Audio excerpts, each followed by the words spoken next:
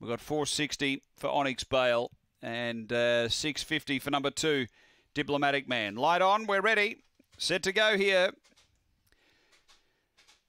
Race two, they're away. Speed Air Assault down near the inside is going to punch through, joined by Diplomatic Man. They're about two in front early of Hot Return, and then they really scrambled in behind it. Be about six away now, Capital Venture. Uh, forget the others. Jack's Dream. There's one out the back that won't finish the race there, Onyx Bale, but racing to the turn, and it's Air Assault by two to Diplomatic Man, and four away Hot Return, but Air Assault stretching on for a nice win. Uh, Air Assault beats Diplomatic Man, Hot Return, and Capital Venture. Massive margin away to Jack's Dream, and pulling up in the back straight there is Onyx Bale. Time is around 23 seconds.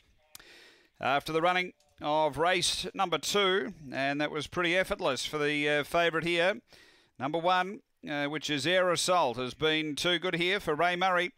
Uh, second to two, Diplomatic Man. That front pair um, cleared out from the uh, remainder. And four is third, which is Hot Return. So uh, one air assault uh, for Ray Murray first, two second diplomatic man, and third going to four hot return. The time here 23 seconds after uh, race number two at Gawler Greyhounds.